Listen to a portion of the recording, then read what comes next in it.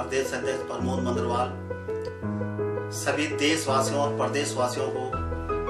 छठ पूजा की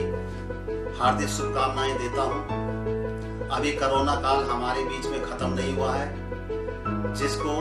हमें ध्यान में रखते हुए, सोशल डिस्टेंसिंग का पालन करते हुए इस त्योहार को